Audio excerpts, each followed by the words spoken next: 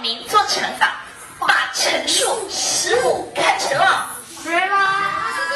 结果多了。问你正确答案是几？一百二十四。不着急，来。对于这种错中求解，今天老师教你们两步，就是一对一错两算式，我们把它列出来就行了。首先，对的算式，其中一个乘数看错了，另一个乘数知道吗？不知道。我们可以用一个圈圈表示。